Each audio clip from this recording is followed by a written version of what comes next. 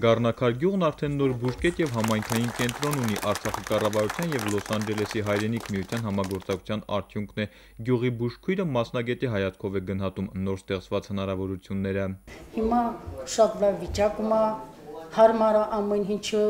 մզմծ օգնություն ցույց տվալ։ Գյուղում վերակառուցել են հանդիսությունների հին շենքը, այն դարձնելով համայնքային կենտրոն, կառուցվել է բուժկետ։ Գառնակարում հավաքվել են Արցախի բարձրաստիճան պաշտոնյաներն ու հայրենիք միության ղեկավարները։ Համայնքային կենտրոնում Գառնակարի տոհմածառն է իր բոլոր ճյուղերով։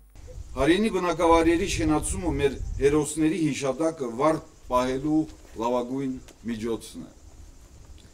Ուզում եմ շնորհակալություն հայտնել Գառնակարում համայնքային կենտրոնի եւ բուժկետի կառուցման գործում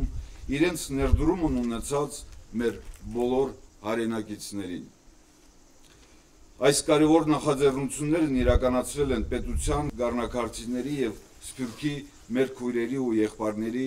ջանքերի համադրմամբ։ Հայրենիք միության անդամ Բարունակ Չելիքյանը Արցախի նախագահի հրամանագրով ապարգևատրվել է երախտագիտություն մեդալով։ Հայրենիք միության կարգացիր մարմնի բոլոր ընկերներս, համագերները հայրենիք միության եւ բարերարները